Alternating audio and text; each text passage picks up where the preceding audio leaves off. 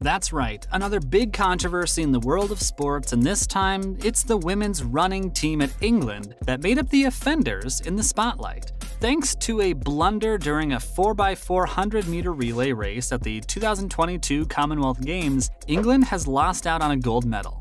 But just what happened here anyway? When did the team learn about this and just who is truly at fault here? You'll learn all the details in today's video, so be sure to stick around until the end. Wait, I walked out of the venue early. Didn't England win this race? Indeed, this is a common story for those in attendance. It actually took a while before the cheeky bit of rule bending was made known. For quite a while there, the whole team and everyone watching believed wholeheartedly that England had just won by a hair. The conclusion of the race was a nail biting one, too. A classic photo finish, if there ever was one. It came down to England's Jessie Knight in the neck and neck sprint alongside Kyra Constantine from Canada. The shot at the very end of the race is honestly a sight to see, and Jessie crosses the finish line with nary an inch to spare. The official verdict was that she won by a thousandth of a second. It nearly made for a huge headline moment all on its own, but sadly the suspenseful finish may have backfired on jolly old Ingerland in the long run.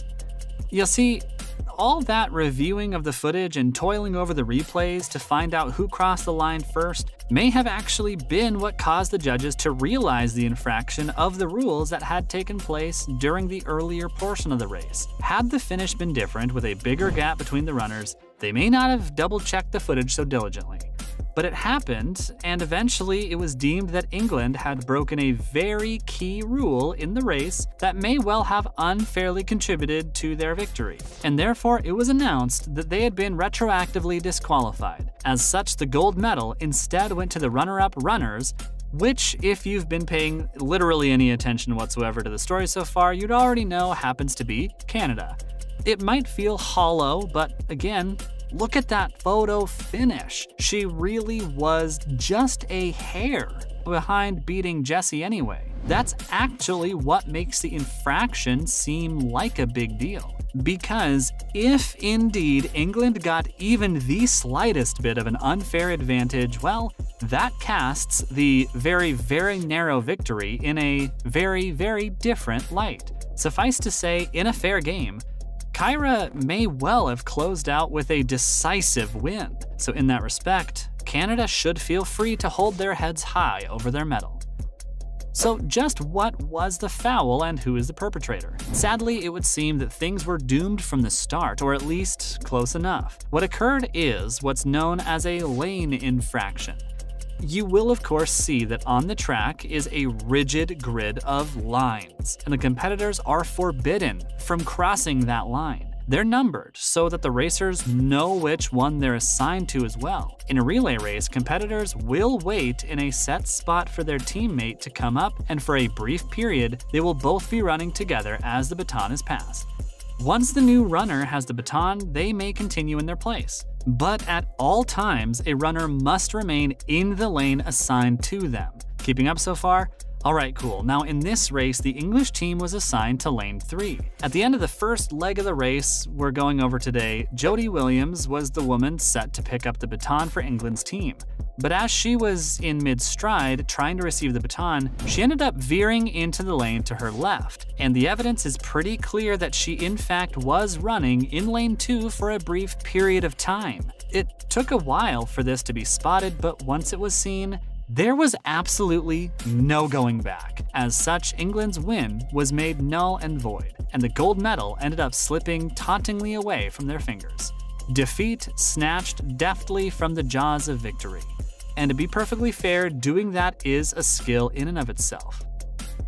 Well, when did the team learn about this foul and the ensuing disqualification? It's fair to say that this was entirely by accident, as there's no way the team would wittingly jeopardize themselves like this. Don't get me wrong, cheating is of course rampant in all sports, and you can certainly bet that women's relay races are no exception to that dirty golden rule. But true cheaters do their dirty work in the shadows where nobody can see them. Out there in public in front of the cameras, you follow the lot of the letter because there's just no disputing these things when they arise in a replay. With that in mind, it seems like nobody on the England side, not even Jodie herself or the woman handing her the baton, knew anything was amiss for the longest time. Certainly, nobody thought there was any risk of the win being invalidated in any way. If they were concerned about that, they probably would have skipped the big victory lap. Oh, yeah, did we mention there was a victory lap? Because, yes, England's women's team were so sure that they were taking the gold home that they actually did a victory lap around the track, and only after it finished did the officials let them know that they would have to give that medal back. Oh boy, now that is a tough one. ACL tears can take as much as nine months for professional athletes to heal from, but emotional damage like that will last a lifetime.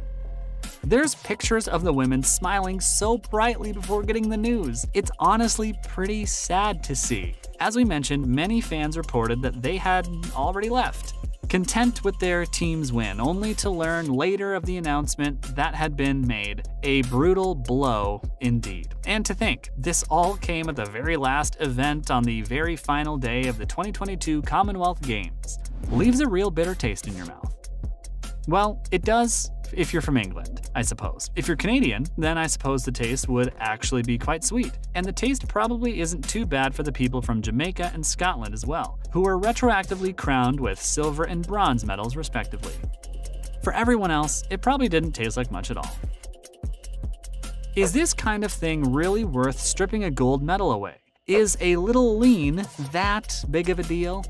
The first and foremost, it goes without saying that this grid rule has a pretty important place in racing. Obviously, it is primarily intended to keep the racers from smashing into one another. Of course, such collisions are impossible to stop entirely, but having a very defined and separate path for the runners in question is a solid deterrent that keeps them from getting dangerously close to one another on a regular basis. However, regardless of whether or not you're anywhere near another racer, staying within the lane is important for the very simple reason that everyone else has to do it. Exceptions can't be made for a situation like this. If Jodie had indeed remained in her lane, it may have required her to slow down or make more of a turn that would cut off her momentum in order to get that baton. That is adamantly speculative, and it is hard to prove that they wouldn't have crossed the finish line first without this. After all, we can't check the alternate timeline where this infraction doesn't happen. One day, though, one day that technology will be there, and don't doubt for a moment that we'd use it for sports rulings. But the rules are what the rules are, and they have to be upheld very, very strictly, because after all, as this race perfectly illustrates, there can be mere centimeters separating first and second place. And when you have a sport where the conclusion can be that close, that wildly narrow, well, every little thing matters. Every step, every turn, every wave of the baton, anything going awry can cost you everything and any little advantage, even if it's so small that you don't even realize you have it could make the difference. Ah, but what do I know? I'm just some talking head in a video. I'm not some big uppity rules lawyer. I'd have to be in a comment section to have that title. Speaking of which, that's all the time we have for today's video, which means it's time to throw it in the comments section. Are you upset that the victory was ripped right out of England's hands when they believed for all the world that it was theirs? Are you from a country other than England and therefore not too bothered? Are you from Canada and therefore ecstatic about the whole thing? Did Jodie's actions really warrant a DQ in your eyes? Be sure to let us know down in the comments below, and until next time, thanks for watching.